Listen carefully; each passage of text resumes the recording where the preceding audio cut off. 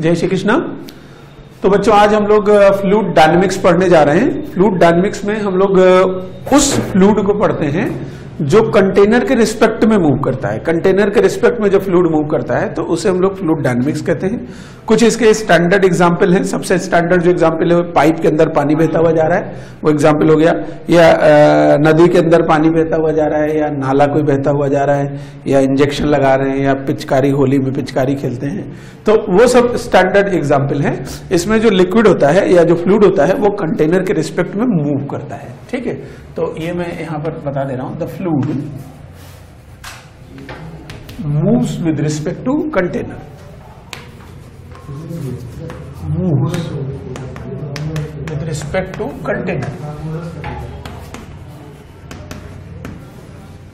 the fluid moves with respect to the container जो fluid होता है, वो कंटेनर के रिस्पेक्ट में मूव करता है। ठीक है?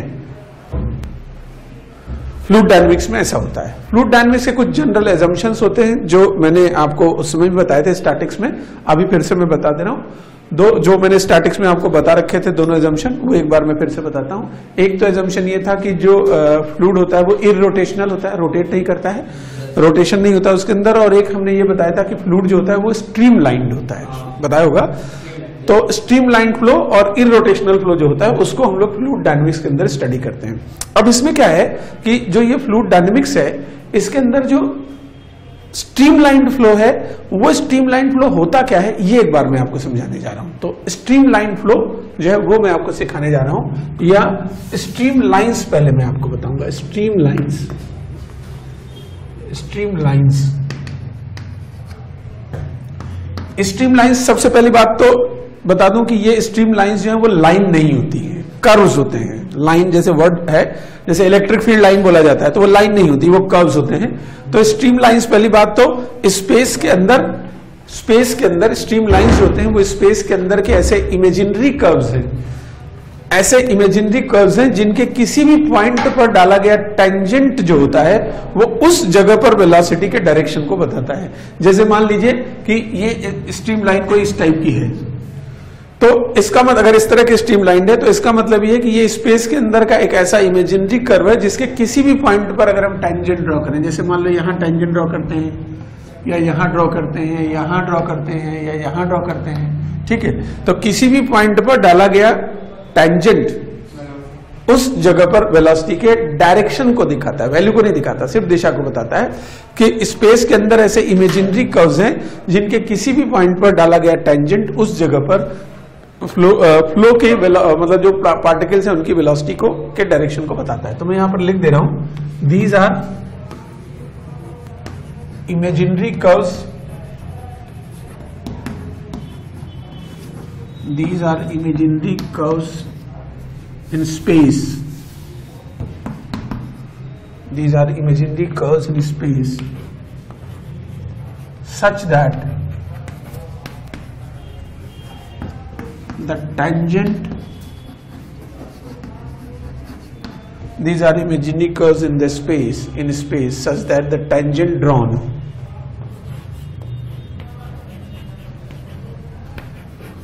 At a point gives the these are imaginary curves in space such that the tangent drawn at a point gives the direction of flow.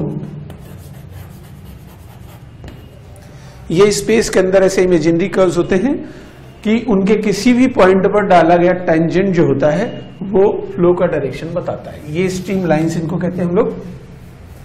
अब ये जो स्ट्रीम लाइंस होती हैं, इन स्ट्रीम लाइंस की कुछ प्रॉपर्टीज़ होती हैं कुछ कुछ इनकी प्रॉपर्टीज़ होती हैं। तो मैं प्रॉपर्टीज़ एक दो प्रॉपर्टीज़ इनकी बता देता हूँ। प्रॉपर्टीज़ कोई एक प्रॉपर्टी तुम बताओ जरा सोच के।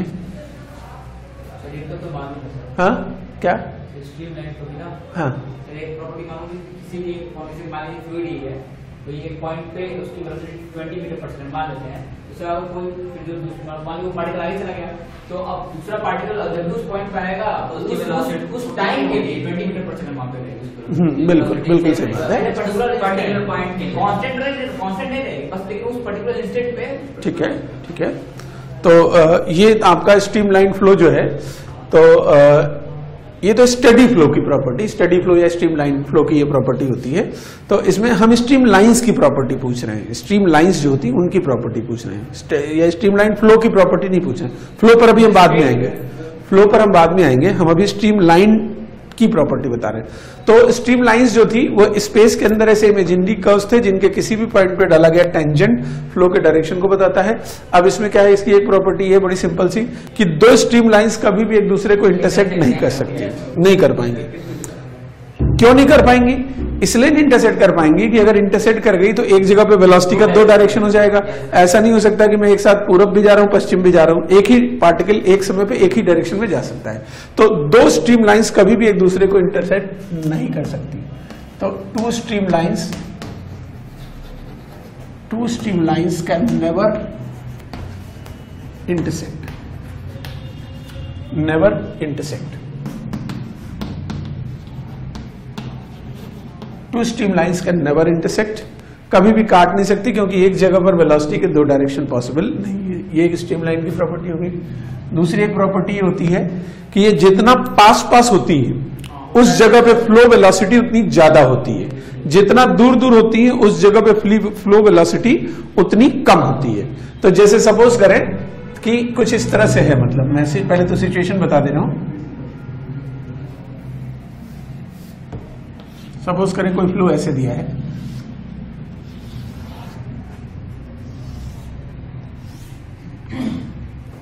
इस तरह से कोई फ्लो दिया हुआ है और यहाँ से ऐसे लिक्विड फ्लो करता हुआ जा रहा है। तो यहाँ पर एक पॉइंट मान लो मैंने ए उठा लिया, यहाँ पे बी उठा लिया और यहाँ पे सी उठा लिया मैंने, ठीक है? ठीक। तो अब क्या है ये स्ट्रीम लाइंस मैंने बना रखी है? तो अब इसमें क्या होता है कि जितना स्ट्रीम लाइंस पास पास होंगी फ्लो की वेलोसिटी उतनी अधिक होगी। तो जैसे यहाँ पर आप देखें तो ये बहुत ही पास पास स्ट्रीम लाइंस हैं। तो यहाँ पर फ्लो वेलोसिटी अधिक होगी यहाँ पर वेलोसिटी बहुत कम होगी क्योंकि स्ट्रीम लाइंस बहुत दूर दूर होगी। तो जितना ज़्यादा इनके बीच का रिलेटिव सेपरेशन होगा जो डिस्टेंस होगी रिलेटिव सेपरेशन जितना ज़्यादा होगा जो फ्लो वेलोसिटी होगी उतनी कम होगी। तो इस बात को मैं लिख दे रहा हूँ। Higher is the higher is the relative separation. Higher is the relative separation between stream lines. Higher is the relative separation. Higher is the relative separation between stream lines lower is the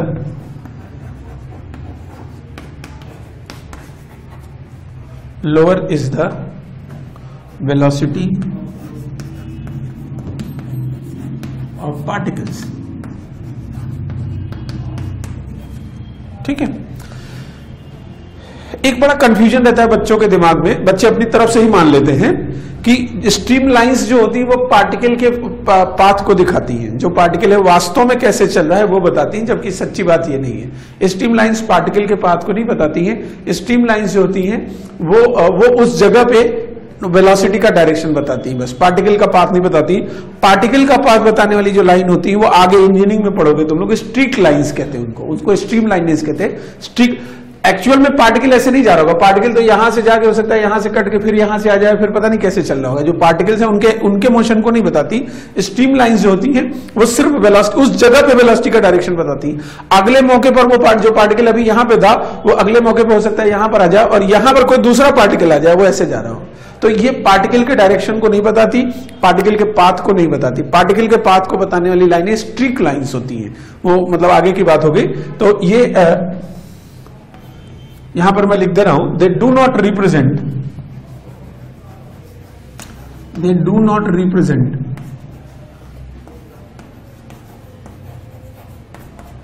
the path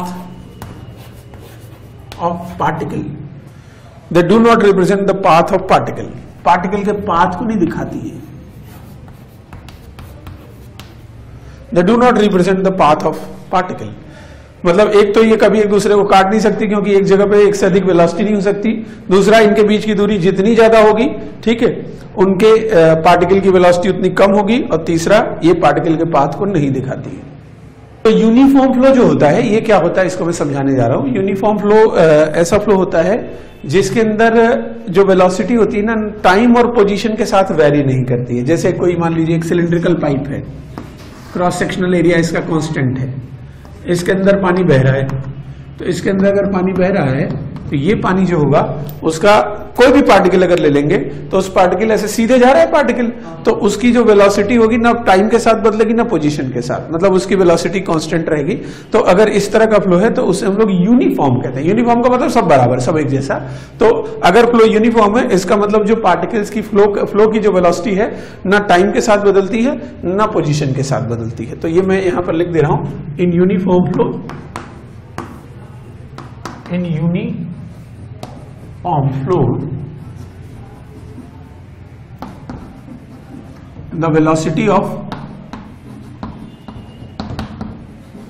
flow does not change.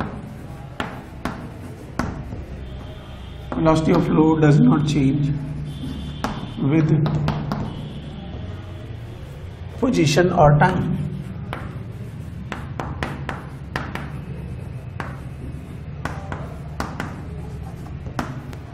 uniform flow में जो flow की velocity होती है, वो position या time के साथ नहीं बदलती। यूनिफॉर्म फ्लो के बाद जो अगला आता है, जिसे हम लोग स्टडी फ्लो स्टडी फ्लो या स्ट्रीमलाइन फ्लो कहते हैं।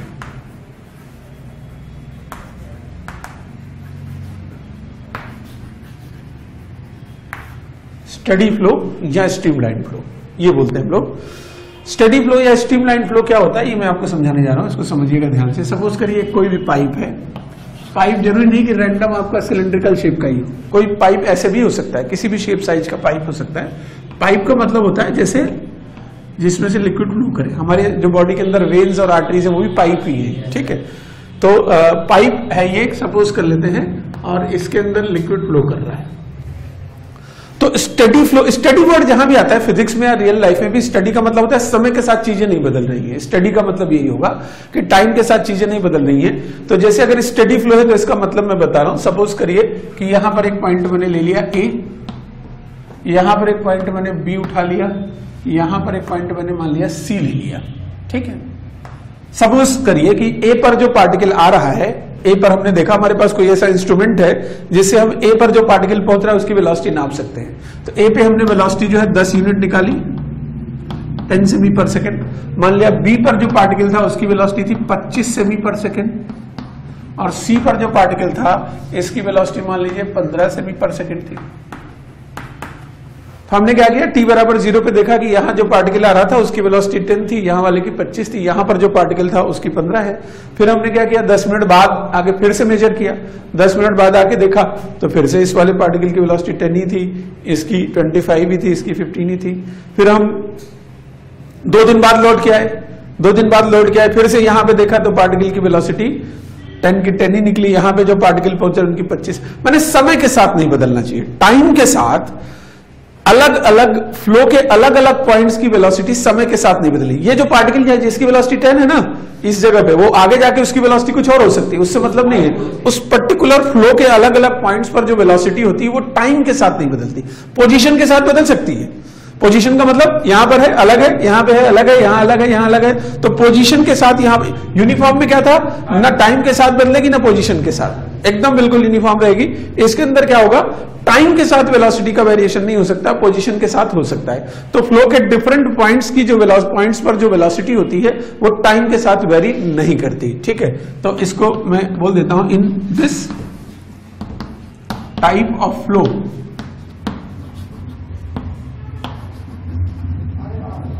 velocity, in this type of flow, velocity of particles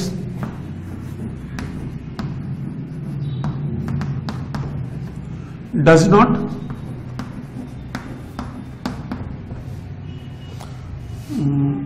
नहीं वेलोसिटी ऑफ़ पार्टिकल्स बोलना सही नहीं है। Velocity of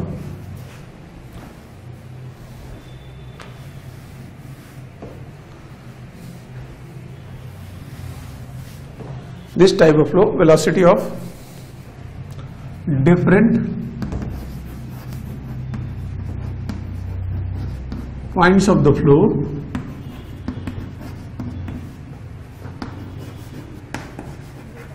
velocity of different points of the flow. Flow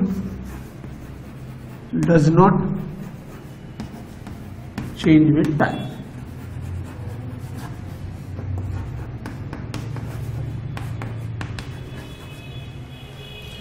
This type of flow velocity of different points of the flow does not change with time time के साथ अलग अलग points की जो वेलोसिटी होती है, वो समय के साथ नहीं बदलती. पोजीशन के साथ बदल सकती है.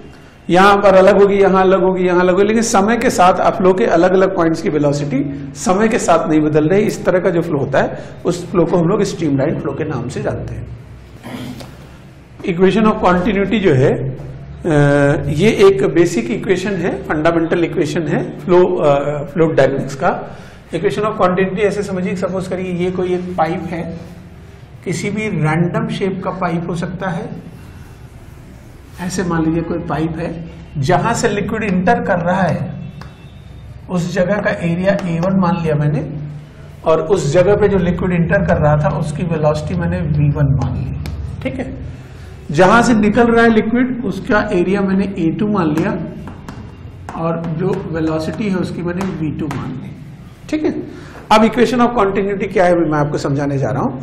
इसमें जैसे मान लेते हैं कि यहाँ से dt टाइम में कितना मास इंटर कर रहा है ये मैं निकालने जा रहा हूँ।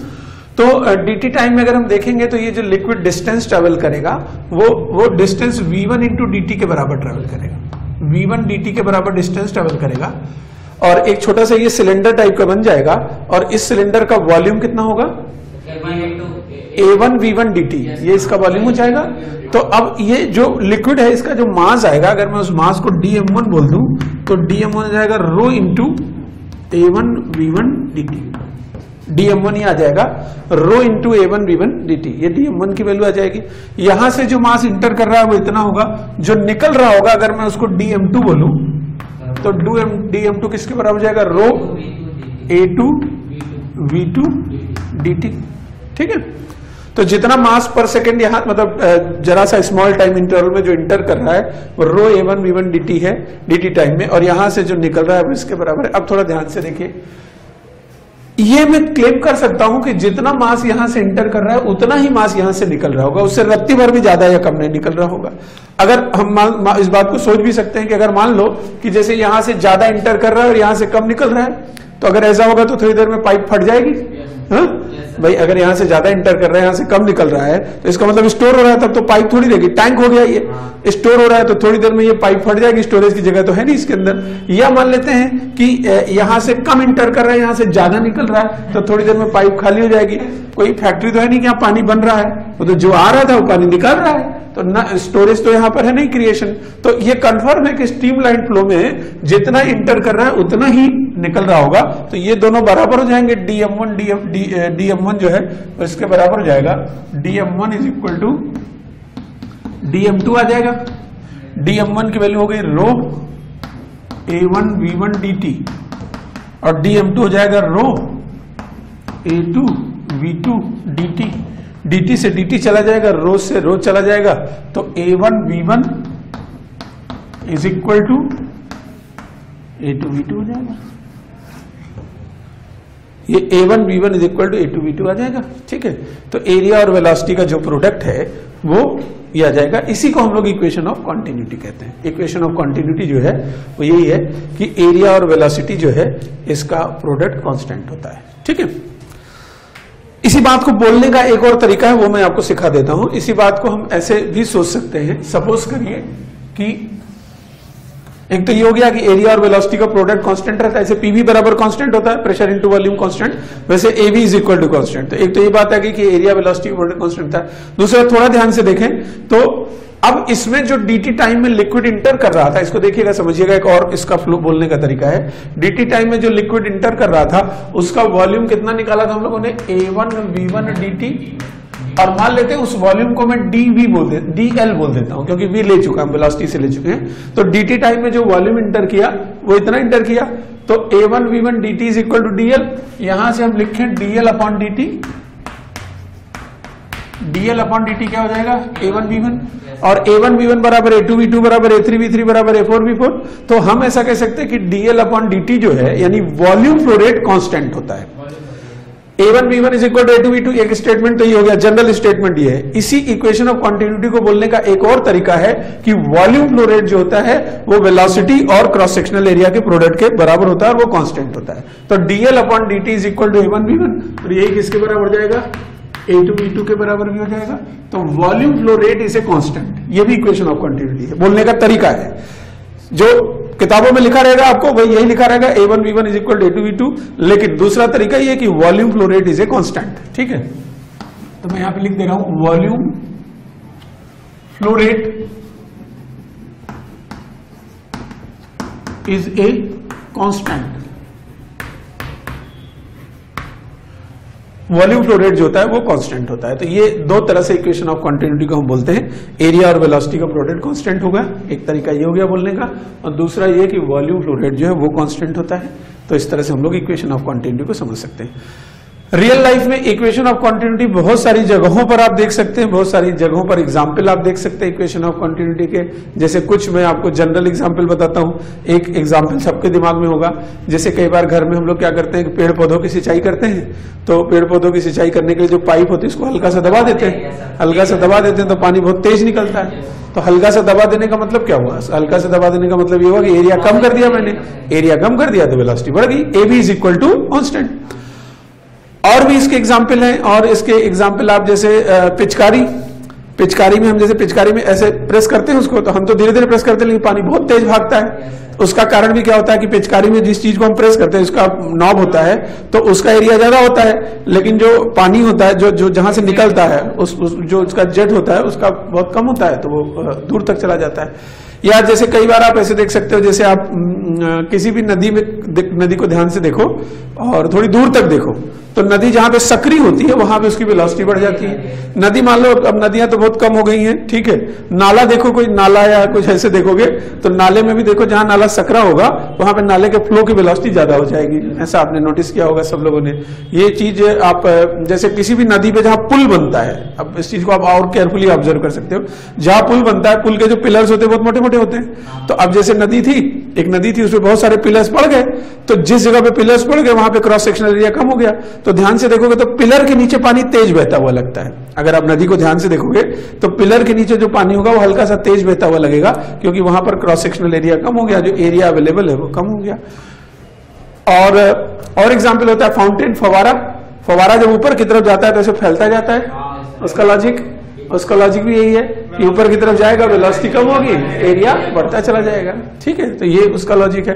जैसे कहीं भी दो नदियाँ मिलती हैं, जैसे इलाहाबाद के अंदर एक संगम है तो संगम में क्या होता है, गंगा और यमुना आके मिलती मैंने देखा हुआ है, उसको प्रैक्टिकली देखा है। गंगा, यमुना आके मिलती है और जहाँ आके मिलती है, जब इकट्ठा हो जाती है तो फ्लो वेलोसिटी बढ़ जाती है। ऑब्वियसली सीधी सी बात है हाँ?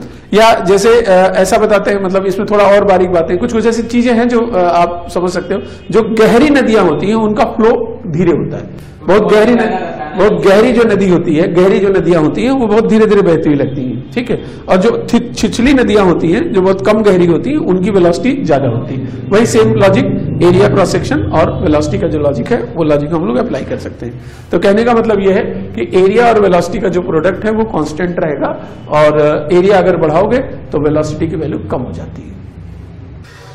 इसमें क्या है? तीन पाइप्स हैं एक ये वाला पाइप है। इसका क्रॉस सेक्शनल एरिया जो है ये है टेन सेंटीमीटर स्क्वायर ये वाला जो पाइप है इसका क्रॉस सेक्शनल एरिया जो है ये है ट्वेंटी सेंटीमीटर स्क्वायर और इस पाइप का क्रॉस सेक्शनल एरिया है फिफ्टीन सेंटीमीटर स्क्वायर इसका दस है इसका बीस है इसका पंद्रह है। और यहाँ से जो लिक्विड इंटर कर रहा है इसकी वेलोसिटी है फाइव सेंटीमीटर पर सेकेंड। यहाँ से जो लिक्विड इंटर कर रहा है, इसकी वेलोसिटी है 10 सेंटीमीटर पर सेकेंड। यहाँ से भी लिक्विड इंटर कर रहा है 10 सेमी पर सेकेंड से, यहाँ से इंटर कर रहा है 5 सेमी पर सेकेंड से, और यहाँ से जो लिक्विड है, वो निकल रहा होगा। ठीक है? तो क्वेश्चन है, find the velocity of liquid find the velocity of liquid coming out velocity of liquid coming out from third pipe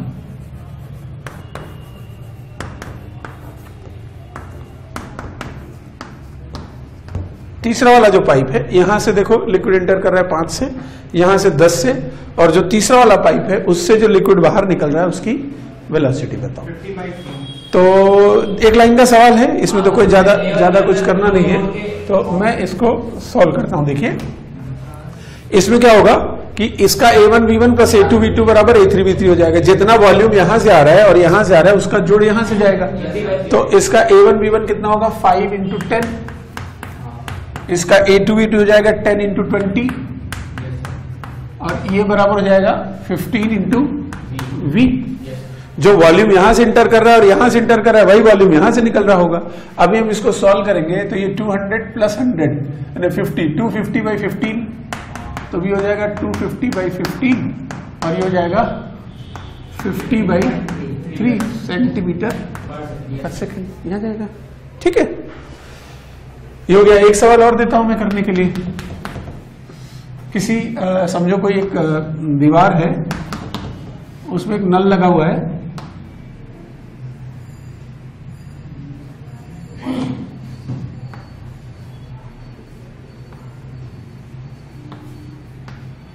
नल का cross sectional area small A है। और यहाँ से जो लिक्विड निकल रहा है, उसकी वेलोसिटी इन्होंने यू दे रखी है। नल खुला है और नल से जो लिक्विड निकल रहा है, उसकी वेलोसिटी यू के बराबर है। तो इसके अंदर क्वेश्चन जो आ रहा है, वो ये है कि find the cross sectional find the cross sectional area of the stream when liquid has fallen by when the liquid has fallen by a distance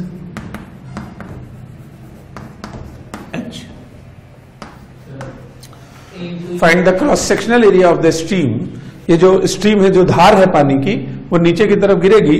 तो जब ये लिक्विड जो है एच डिस्टेंस फॉल कर चुका है तो उस समय उसका क्रॉस सेक्शनल एरिया आपको बताना है। देखिए, इसका सॉल्यूशन निकालते हैं हम लोग। इसके अंदर जब पानी की धार गिरेगी तो वेलोसिटी तो उसकी बढ़ती ही जाएगी तो धार पतली होती जाएगी। ठीक है? अब इसमें जैसे मान लेते हैं कि एच हाइट तक ये धार गिर चुकी है और एच हाइट तक अगर धार गिर चुकी है तो उस समय इसका जो क्रॉस सेक्शनल एरिया है, वो मैं ए डैश मान ले रहा हूँ। बहुत सीधी सी बात है, पानी की धार जो है वो फ्री फॉल कर रही है। फ्री फॉल कर रही है तो मैं इसके लिए v square is equal u square plus two g h लगा सकता हूँ, नीचे की तरफ़। तो यहाँ पर जो इसकी वेलोसिटी होगी फ्लो वेलोसिटी यहाँ पर जो आएगी, मैं उसको इस इक्वेशन से निकाल सकता हूँ। V square equal u square plus two g h ये फ्लो वेलोसिटी आ गई। अब उसके बाद ये स्ट्रीम है तो इसके लिए मैं a one v one is equal to a two v two लगाऊँगा। A one v one is equal to a two v two शुरू में एरिया स्मॉल ए था वेलोसिटी यू थी। बाद में एरिया ए डैश माना है मैंने, और वेलोसिटी है under root of u square plus two g h ये वेलोसिटी है तो ए डैश की वैल्यू आ जाएगी a u upon under root of u square plus two g h के बराबर। तो ए डैश जो आएगा, वो a u upon under root of u square plus two g h इसके बराबर आ जाएगा। ठीक है? तो ये नोट कर लीजिए आप लोग। बर्नौलीज थ्योरम बर्नौलीज थ्योरम जो है, ये बेसिकली कुछ कुछ किताबों में लिखा रहता है कि ये एनर्जी कंजर्वेशन का लॉ है तो ऐसा मानना उचित नहीं है। बर्नौलीज थ्योरम बेसिकली लिक्विड की वर्क एनर्जी थ्योरम है। लिक्विड जो होता है, उसके लिए जब हम वर्क एनर्जी थ्योरम लगाते हैं तो हमें जो मिलता है वो बर्नौलीज थ्योरम होता है। बर्नौलीज थ्योरम क्या है, ये मैं आपको समझा देता हूँ। किताबों में लिखा रहता है, ये एनर्जी कंजर्वेशन है, लेकिन वास्तव में ये एनर्जी कंजर्वेशन नहीं है, ये लिक्विड की वर्क एनर्जी थ्योरम है कैसे आती है, क्या होता है, ये मैं आपको समझाने जा रहा हूँ। सपोज़ करिए कोई पाइप है, थोड़ा सा मैं फिगर ऐसा बनाऊँगा जो आसानी से समझाया जा सके। और इसके अंदर यहाँ से लिक्विड इंटर कर रहा है। जहाँ से इंटर कर रहा है, उसका क्रॉस सेक्शनल एरिया A1 है वेलोसिटी V1 है। यहाँ से लिक्विड निकल रहा है इसका क्रॉस सेक्शनल एरिया A2 है और वेलोसिटी V2 है। ठीक है? और ग्राउंड लेवल जो भी ग्राउंड है, उस ग्राउंड लेवल से इसकी जो हाइट है, वो H1 है और इसकी जो हाइट है, वो H2 है। ठीक है? यहाँ से जो लिक्विड एंटर कर रहा है, उसकी वेलोसिटी V1 है, यहाँ से जो निकल रहा है, उसकी वेलोसिटी V2 है, इसकी हाइट H1 है, और इस वाले पार्ट की हाइट H2 है, और इसमें यहाँ पर जो प्रेशर है, इस जगह पे, भाई प्रेशर हर जगह सेम तो होगा नहीं तो यहाँ पर जो प्रेशर है, वो मान लिया कि P1 है, और यहाँ पर जो प्रेशर है, वो P2 है, इस जगह पे। मतलब यहाँ की सारी चीज़ें टू से दिखाई गई है, यहाँ की सारी चीज़ें वन से दिखाई गई है। तो बर्नौली की थ्योरम जो है, पहले मैं थ्योरम लिखता हूँ, फिर उसका प्रूफ बताता हूँ। बर्नौली की थ्योरम जो है, वो ये कहती है कि P1 one plus half rho v one square plus rho g h one is equal to p two plus half rho v two square plus rho g h two ये Bernoulli theorem है। यानी flow में अगर stream line flow आ रहा है तो flow में p plus half rho v square plus rho g h is a constant p one plus half rho v one square plus rho g h one is equal to p two plus half rho v two square plus rho g h two is a constant अब इस theorem को हम लोग prove करने जा रहे हैं। Prove करने जा रहे हैं तो जैसे मान लो यहाँ से जो लिक्विड इंटर कर रहा है, बहुत छोटा सा अगर मैं टाइम इंटरवल लू तो उस छोटे से टाइम इंटरवल में जो लिक्विड इंटर करेगा, उसकी डिस्टेंस होगी v1 वन इंटू उसका वॉल्यूम होगा a one v one d t और डेंसिटी से मल्टीप्लाई कर देंगे तो जो मास इंटर कर रहा है, वो rho a one v one d t के बराबर होगा। फिर से देख लें, छोटा सा टाइम डी टी लिया मैंने, उस डी टाइम में जो डिस्टेंस ट्रेवल करेगा वी वन डी होगा। क्रॉस सेक्शनल एरिया से मल्टीप्लाई करेंगे तो वॉल्यूम आ जाएगा डेंसिटी से मल्टीप्लाई करेंगे तो मास आ जाएगा। जितना मास यहाँ से इंटर करेगा, उतना ही मास यहाँ से निकल रहा होगा। तो इसी डीएम को हम लोग क्या बोल सकते हैं? V two d t into a two into rho इसी डीएम को हम ऐसे ही बोल सकते हैं। अब इसमें क्या है कि मैं वर, अगर बर्नौली थ्योरम मतलब वर्क एनर्जी थ्योरम यहाँ से यहाँ तक वर्क एनर्जी थ्योरम लगाऊँ तो मैं देखो इतने यहाँ से यहाँ तक अगर मैं वर्क एनर्जी थ्योरम लगाऊँगा तो यहाँ से यहाँ तक जो लिक्विड है उसका मास तो कांस्टेंट ही है। लिक्विड तो पूरे में भरा हुआ है। तो मैं मान सकता हूँ कि डीएम मास यहाँ से इंटर कर रहा है और डीएम यहाँ से निकल रहा है। तो ये जो डीएम यहाँ से इंटर किया और जो यहाँ से डीएम निकला उसके लिए मैं वर्क एनर्जी थ्योरम लगाने जा रहा हूँ। तो अगर मैं उसके लिए वर्क एनर्जी थ्योरम लगाऊँगा उस डीएम के लिए तो यहाँ से यहाँ तक अपने पास आ जाएगा के फाइनल यानी half of the dm into v two square minus K initial half of the dm into v one square K final minus K work energy theorem क्या होती है? K final minus K initial और W all तो ये final kinetic energy है initial kinetic energy है. W all में एक तो इसके ऊपर ग्रेविटी का वर्क होगा. ग्रेविटी का वर्क होगा minus of dm into g into h two minus h one dm mass यहाँ से उठ के यहाँ जा रहा है और यहाँ से यहाँ तक की जो हाइट है वो h two minus h one है।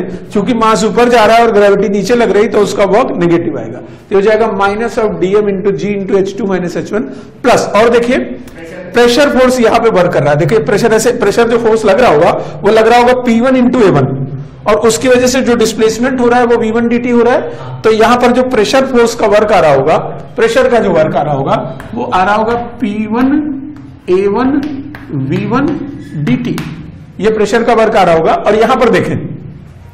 यहाँ पर जो प्रेशर का लग रहा होगा देख लें, फिर नोट कर लेंगे बाद में टाइम दे दूँगा मैं। यहाँ पर जो प्रेशर का फोर्स लग रहा होगा, वो इधर लग रहा होगा, लेकिन डिस्प्लेसमेंट इधर है। तो यहाँ पर जो प्रेशर का वर्क आएगा, वो आएगा minus p two a two v two d t ये आ जाएगा। अब थोड़ा ध्यान से देखें तो मैं इसी को इसी को ऐसे लिखने जा रहा हूँ। Half v two square minus v one square into dm is equal to minus of dm into g into h two minus h one plus अब जरा ध्यान से देखिएगा। A one v one d t a one v one d t को मैं लिख सकता हूँ डीएम बाई रो और a two v two d t को भी मैं लिख सकता हूँ डीएम बाई रो ठीक है? तो अब ये जो a one v one d t है, इसको मैं डीएम बाई रो लिखूँगा तो ये हो जाएगा p one into dm by rho minus p two into dm by ये हो गया? अब उसके बाद डीएम से डीएम से डीएम कैंसिल आउट हो जाएँगे सारे। और जब सारे के सारे डीएम कैंसिल आउट हो जाएँगे और मैं पूरे को रो से मल्टीप्लाई कर दूँगा तो ये हो जाएगा half rho v two square minus half rho v one square is equal to सारे डीएम कैंसिल हो ही चुके हैं तो ये हो जाएगा minus rho g minus rho g s two plus rho g h one plus p one minus p two अब मैं वन वाले एक तरफ़ सारे इकट्ठा कर लेता हूँ टू वाले एक तरफ़ कर लेता हूँ तो ये बर्नौली की थ्योरम प्रूव हो गई। P one plus half rho v one square plus rho g h one is equal to p two plus half rho v two square plus rho g h two ये आ जाएगा। This is Bernoulli's theorem तो ध्यान से देखें, यहाँ पर energy conserve तो है ही नहीं। प्रेशर फोर्स के जो वर्क है, वो एनर्जी को कंजर्व करने ही नहीं दे रहे। तो ये बोलना कई बार किताबों में लिखा रहता है, बहुत सारी किताबों में, कि it is example of energy conservation ऐसा सही नहीं है। It is example of work energy theorem जब हम लिक्विड के लिए वर्क एनर्जी थ्योरम लगाते हैं तो वो वर्क एनर्जी थ्योरम जो है, वो इस फॉर्मेट में बर्नौली के थ्योरम के फॉर्मेट में, वो थ्योरम हमें मिल जाती है।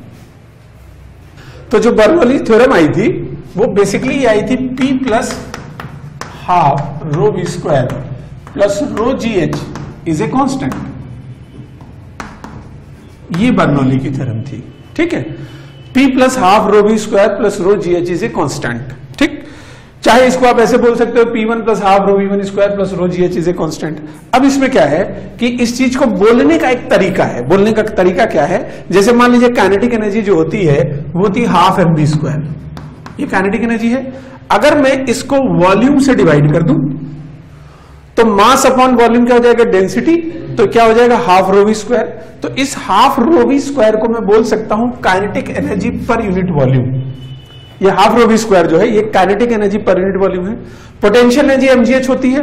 वॉल्यूम से डिवाइड कर दूँ, मास अपॉन वॉल्यूम डेंसिटी हो जाएगी। तो इसको मैं बोल सकता हूँ potential energy per unit volume. और ये कोई एनर्जी वेनर्जी नहीं होती, लेकिन मेल मिलाने के लिए मतलब एक जैसा दिखे तो किताबों में ऐसा लिख देते हैं कि kinetic energy per unit volume potential energy per unit volume और pressure energy per unit volume का जोड़ कांस्टेंट होता है। जबकि प्रेशर एनर्जी कैसी जैसी कोई चीज़ नहीं होती है, वो बस एक समझाने के लिए कि भाई जैसा बच्चे को याद सा हो जाए तो इसलिए बोल देते हैं कि kinetic energy per unit volume potential energy per unit volume और pressure energy per unit volume जो होता है, इसका सम कॉन्स्टेंट होता है। तो बर्नौली थ्योरम को बोलने का एक ये भी तरीका है। तो मैं लिख देता हूँ sum of kinetic energy per unit volume sum of kinetic energy per unit volume potential energy potential energy per unit volume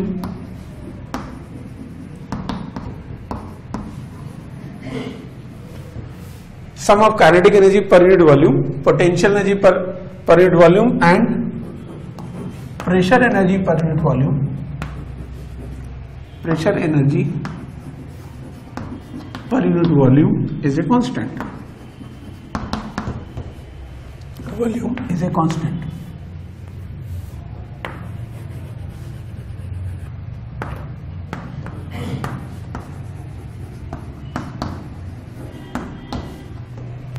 Sum of kinetic energy per unit volume, potential energy per unit volume, and pressure energy per unit volume is a constant. ठीक है?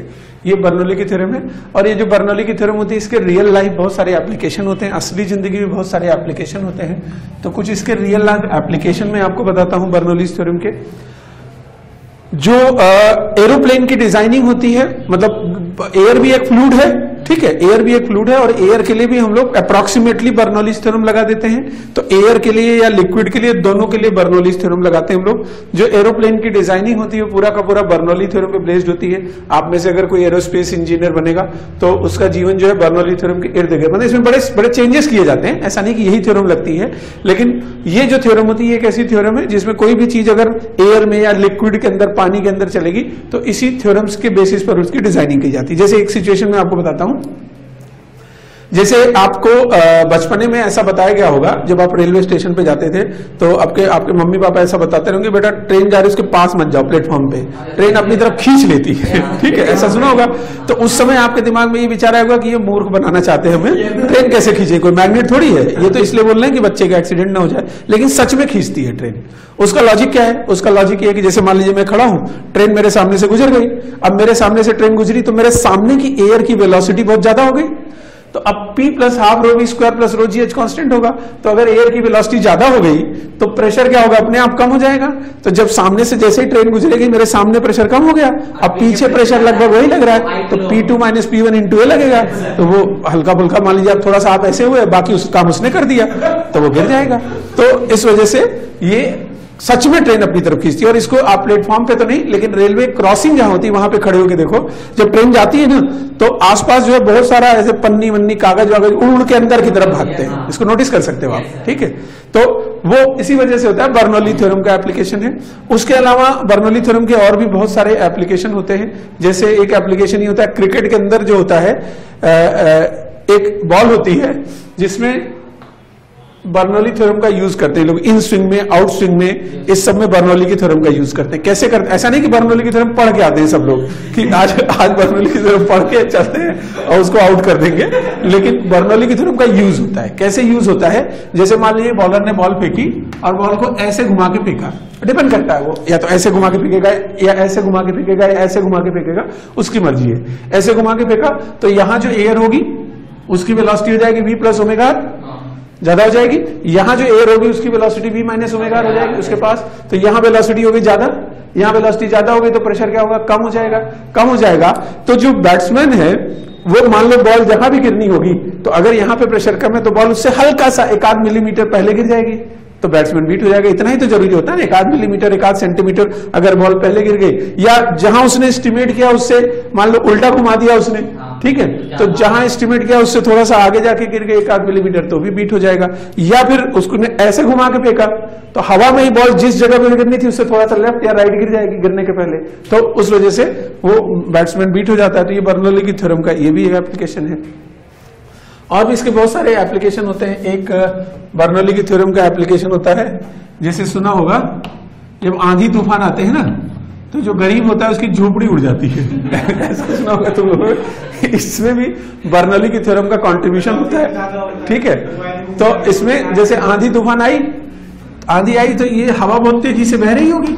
बहुत तेज़ी से हवा बह रही होगी तो जो गरीब होगा या अमीर होगा, जो भी होगा, गरीब अमीर से मतलब नहीं हो तो बोला जाता है बस। तो जो भी ये गरीब आदमी होगा, वो अपनी झोपड़ी का दरवाज़ा दरवाज़ा सब बंद करके अंदर चुपचाप बैठा होगा, ऐसे ठीक है? कि किसी तरह आंधी चली जाए। तो अब क्या होगा कि जब ये आंधी आएगी तो बाहर की जो एयर है, उसकी वेलोसिटी जो है बहुत अधिक हो जाएगी। तो प्रेशर कम हो गया। अंदर जो है वो सिर्फ़ बंद बंद करके रखा हुआ है। तो अंदर जो प्रेशर है वो लगभग उतना ही है। और बाहर का जो प्रेशर है वो ज़्यादा हो गया है। तो, सॉरी कम हो गया है और अंदर तो उसको एक हल्का सा लिफ्ट मिल जाएगा। बाकी तो आंधी तैयार बैठी है जरा सा भी उठेगा तो आंधी उड़ा के ले जाएगी उसको। तो ये भी बर्नौली की थ्योरम का इस्तेमाल है। हाँ? तो अंदर के सामान उड़ जाएँगे पूरी झोपड़ी उड़ जाएगी। पूरा लेके हवा उड़ जाएगी। हाँ? अच्छा ये तो चलो एक बात हो गई और एकदम रियल लाइफ में जो इस्तेमाल होता है एरोप्लेन जो होता है एरोप्लेन उसका वेट जो होता है, वो कैसे बैलेंस होता है? जरा आप लोग सोचिए एरोप्लेन का वेट कैसे बैलेंस होता है? हाँ? नहीं, वो तो ठीक है ना बायोसी से एरोप्लेन उड़ेगा यार। इतना भारी एरोप्लेन बायोसी से उड़ेगा। हा? हम तुम फिर क्यों नहीं उड़ते बायोसी से? एरोप्लेन का जो वेट होता है, उसका जो, उसकी जो बैलेंसिंग होती है ना, वो बर्नौली की थ्योरम से ही होती है। इसमें क्या होता है, इसकी डिज़ाइनिंग ऐसे करते हैं ये लोग कि जो ऊपर एयर है, ऐसी डिज़ाइन उसकी बनाई जाती है कि ऊपर वाली जो एयरप्लेन के जो ऊपर की एयर है, उसकी वेलोसिटी बहुत कम हो जाए। सॉरी बहुत अधिक हो जाए। बहुत अधिक वेलोसिटी हो जाएगी तो ऊपर प्रेशर बहुत कम हो जाएगा। जैसे ऐसे आ रही है कुछ ऐसे जाएगी? कुछ इस तरह से जाएगी। तो डिज़ाइनिंग का पार्ट होता है कि जो एयर होती है, उसको इस तरह से रोकते हैं कि ऊपर बहुत तेज़ी से निकले। तो बहुत तेज़ी से जब एयर जाती है ऊपर की तरफ़ तो वेलोसिटी बहुत अधिक होगी तो ऊपर का प्रेशर कम हो जाएगा और नीचे का प्रेशर उतना ही लगभग रहेगा थोड़ा बहुत वो भी कम होगा, लेकिन ऊपर का प्रेशर बहुत कम हो जाता है। तो वो जो नीचे प्रेशर ज़्यादा, ऊपर कम तो p two minus p one into a जो होता है, उस, उससे एरोप्लेन का, उससे एरोप्लेन का दो तिहाई वेट बैलेंस होता है। टू थर्ड वेट जो है बर्नौली की थ्योरम से किताब में पढ़ा हुआ है मैंने। दो तिहाई वेट बर्नौली थ्योरम से बैलेंस होता है। एक तिहाई ऐसे बैलेंस होता है कि एरोप्लेन के जो विंग्स होते हैं ना वो थोड़े से तिरछे होते हैं। तो उन पर नॉर्मल ऐसे जो लगता है ऐसे, ऐसे चल रहा है एरोप्लेन तो जो नॉर्मल लग रहा है उसका एक कंपोनेंट आता है ऊपर की तरफ़ जैसे ऐसे, ऐसे नॉर्मल लग रहा होगा ना एयर का ऐसे। तो जो नॉर्मल का एक कंपोनेंट आता है एक तिहाई वेट वो बैलेंस करता है और दो तिहाई जो वेट होता है वो बर्नौली की थ्योरम की वजह से बैलेंस होता है। ऐसे बहुत सारे रियल लाइफ में आपको एप्लीकेशन मिलेंगे जहाँ बर्नौली की थ्योरम का इस्तेमाल होगा।